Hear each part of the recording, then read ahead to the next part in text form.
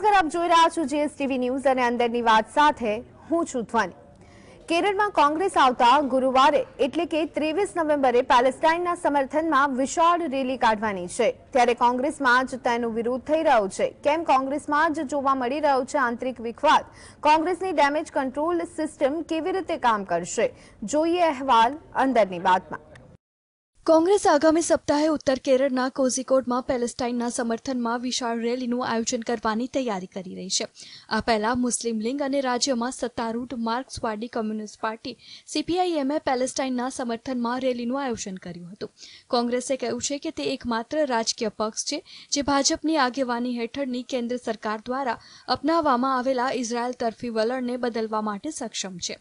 કેરળમાં કોંગ્રેસ આવતા ગુરુવારે એટલે કે ત્રેવીસ નવેમ્બરે પેલેસ્ટાઇનના સમર્થનમાં રેલી કાઢવાની છે. ત્યારે કોંગ્રેસમાં જ તેનો વિરોધ થઈ રહ્યો છે. કોંગ્રેસના રાષ્ટ્રીય નેતાઓનું માનવું છે કે કેરળમાં ટકી રહેવાની લાયમાં કોંગ્રેસ આખા દેશમાં તેને મુસ્લિમ પાર્ટી તરીકેની છાપ મજબૂત કરી રહી છે. બીજી તરફ ભાજપે તેની સામે બાયો ચડાવી છે. ભાજપે કેરળના રાજકીય પક્ષો દ્વારા કરાઈ રહેલા મુસ્લિમ તૃષ્ટિકરણના વિરોધમાં ચાર સ્થળો પર રેલી કાઢવાની જાહેરાત કરી છે. કેરળમાં કોંગ્રેસ પહેલા સીપીએમ અને મુસ્લિમ લીગ પેલેસ્ટાઇનના સમર્થનમાં રેલીઓ કાઢી ચૂકી છે. ભાજપનું કહેવું છે કે સીપીએમ મુસ્લિમ લીગ અને કોંગ્રેસ ત્રણેય કોમવાદી અને આતંકવાદ તરફી વલણ અપનાવી રહ્યા છે. તેનો વિરોધ કરવો જરૂરી હોવાથી ભાજપ આ રેલી કાઢવાની છે. કોંગ્રેસના નેતાઓ સ્વીકારે છે કે પેલેસ્ટાઇનની તરફદારી કરવી એ સારો વિચાર નથી, પરંતુ કોંગ્રેસની મજબૂરી છે. મુસ્લિમ મતદારો સીપીએમ તરફ વળી જાય તો કોંગ્રેસનું તપેલું ચડી જાય એ જોતા કોંગ્રેસ પાસે બીજો કોઈ વિકલ્પ પણ નથી. Bureau report GSTV. ખાસ એજન્સીઓ આમ આદમી પાર્ટીના નેતાઓને એક પછી એક સાણસામાં લઈ રહી છે. ત્યારે કેજરીવાલ સરકારે દિલ્હીના ચીફ સેક્રેટરી નરેશ કુમારને નિશાન બનાવ્યા છે. કેવી રીતે આપના નિશાને આવ્યા નરેશ કુમાર? શું છે સમગ્ર મામલો? ક્યાં ફસાયો રાજકીય દાવપેજ જોઈએ અહેવાલ અંદરની વાતમાં. દિલ્હીના મુખ્ય સચિવ નરેશ કુમારની મુશ્કેલીઓ ઓછી થવાના કોઈ જ સંકેત દેખાઈ રહ્યા નથી. હવે તેમનું નામ હોસ્પિટલ કૌભાંડમાં સામે આવ્યું છે. વિજિલન્સ મિનિસ્ટર આતિશીએ શુક્રવારે આ બાબતે તપાસ રિપોર્ટ મુખ્યમંત્રી અરવિંદ કેજરીવાલને સોંપી દીધો છે.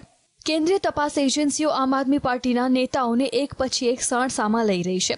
ત્યારે કેજરીવાલ સરકારે દિલ્હીના ચીફ સેક્રેટરી નરેશ કુમારને નિશાન બનાવ્યા છે. દિલ્હી સરકારના વિજિલન્સ મંત્રી આતિશીએ અરવિંદ કેજરીવાલને નરેશ કુમારની પાછળ છૂટા જ મૂકી દીધા છે. આતિશીએ નરેશ કુમાર સામે જમીન સંપાદન કેસમાં તપાસ શરૂ કરાવી અને હવે હોસ્પિટલ કૌભાંડમાં સંડોવણીનો આક્ષેપ મૂક્યો છે.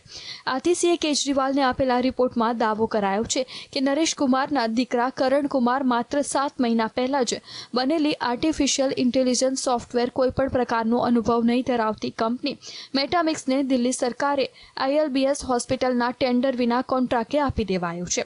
આ કોન્ટ્રાક્ટ આપીને નરેશ કુમારના પુત્રને કરોડો રૂપિયાનો ફાયદો કરાવાયો છે. આરોપ છે કે મુખ્ય સચિવને સાત મહિના પહેલા દિલ્હી સરકારની આઈએલબીએસ હોસ્પિટલને એઆઈ સોફ્ટવેર બનાવવાનું કામ તેના પુત્રની અન્ય કંપનીને કોઈ પણ ટેન્ડર વિના અપાયું હતું, જેના કારણે કંપનીને કરોડોનો નફો થયો હતો. તેમજ તપાસમાં સામે આવ્યું છે કે જે કંપનીને એઆઈ સોફ્ટવેર બનાવવાનું કામ આપવામાં આવ્યું છે, તેને સોફ્ટવેર બનાવવાનો કોઈ અનુભવ નહોતો. આપના સૂત્રોનું કહેવું છે કે આ કેસમાં બરાબરના ફસાયેલા નરેશ કુમાર આપ સાથે સમાધાન કરવા માટે તૈયાર છે, પરંતુ આપ તેમને છોડશે નહીં. બ્યુરો રિપોર્ટ મહારાષ્ટ્રમાં ચૂંટણીની તૈયારીઓ ચાલી રહી છે તો બીજી બાજુ મરાઠા આંદોલનની આગમાં મહારાષ્ટ્ર સળગી રહ્યું છે. તેની સાથે મરાઠાઓ દ્વારા મહારાષ્ટ્રમાં ઠેર ઠેર વિરોધ પ્રદર્શન પણ થઈ રહ્યા છે. ત્યારે કયા કારણોસર સંજય રાઉત, પ્રિયંકા ચતુર્વેદી અને શિવસેનાના ત્રણ સાંસદો રાષ્ટ્રપતિની સાથે કરશે મુલાકાત? શું છે મુખ્ય કારણ? જોઈએ અહેવાલ અંદરની વાતમાં. મહારાષ્ટ્રમાં લોકોએ મરાઠા અનામતની માંગ માટે ખતરનાક પગલાં લેવાનું પણ શરૂ કર્યું છે. મહારાષ્ટ્રના જાલનામાં એક ચૌદ વર્ષની છોકરીએ અનામતની માંગને લઈ અને આત્મહત્યા કરી લીધી. પોલીસ અધિકારીઓએ જણાવ્યું કે છોકરીએ ઘરના એક રૂમમાં ફાંસી લગાવી લીધી.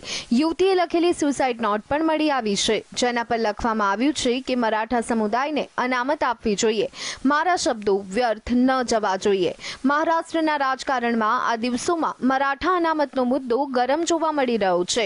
અહેવાલ અનુસાર શિવસેના સાંસદો સંજય રાઉત, પ્રિયંકા ચતુર્વેદી અને વિનાયક રાઉત મરાઠા અનામતની માંગને લઈને રાષ્ટ્રપતિ દ્રૌપદી મુર્મુને મળવાનું કારણ અનામત કોટા વધારવાની માંગ થઈ શકે છે.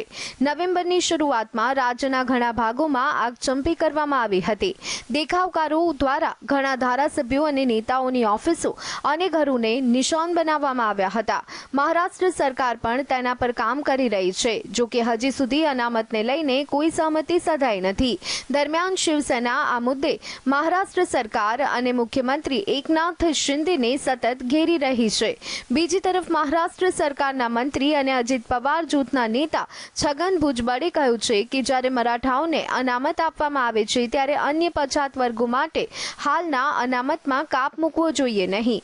Bureau report, GSTV. રાજસ્થાનમાં ભાજપના સાંસદ રમેશ બિધુડીએ દિલ્હી સ્ટાઇલનો પ્રચાર શરૂ કરતા ભાજપના સ્થાનિક નેતા નારાજ છે. કોણ આપી રહ્યું છે ચૂંટણીને? હિન્દુ મુસ્લિમના જાતિવાદનો રંગ. શું છે સમગ્ર મામલો? જોઈએ અહેવાલમાં. રાજસ્થાન ભાજપમાં ચૂંટણી માહોલની સાથે જ માહોલમાં ગરમાવો પણ જોવા મળ્યો છે. રાજસ્થાનમાં ભાજપના સાંસદ રમેશ બિધુડીએ દિલ્હી સ્ટાઇલનો પ્રચાર શરૂ કરતા ભાજપના સ્થાનિક નેતા નારાજ છે. દિલ્હીમાં અરવિંદ કેજરીવાલ સામેના જંગમાં ભાજપના નેતાઓએ દાવો કરેલો કે દિલ્હીમાં આપ જીતશે તો પાકિસ્તાનમાં ફટાકડા ફૂટશે અને મીઠાઈ વહેંચાશે. રમેશ બિધુડીએ પણ એ જ વાત કરીને કહ્યું કે રાજસ્થાનની ચૂંટણી પર આખા દેશની નહીં, પરંતુ પાકિસ્તાનની પણ નજર છે. આ કારણે પચીસ નવેમ્બરે મતદાન પછી લાહોરમાં નહીં, પણ ભારતમાં લાડુ વેચાય એ જરૂરી છે. બિધુડીએ સચિન પાયલટને આડકતરી રીતે પાકિસ્તાનના એજન્ટ ગણાવી દીધા. રાજસ્થાન ભાજપના સ્થાનિક નેતાનું માનવું છે કે બહારથી આવેલા નેતા ચૂંટણી પ્રચારને હિન્દુ મુસ્લિમ રંગ આપી રહ્યા છે. તેની ભાજપ માટે ખરાબ અસર પડી રહી છે. રાજસ્થાનમાં કોમવાદનો મુદ્દો જ નથી, પણ ભાજપના નેતા જાણી જોઈને આ મુદ્દો ઉઠાવી રહ્યા છે. દિલ્હીમાં આ રણનીતિ ધરાર નિષ્ફળ રહી હતી. તેમ છતાં રાજસ્થાનમાં એ જ વાત કેમ કરાઈ રહી છે તે સમજવું મુશ્કેલ છે. Bureau report, GST.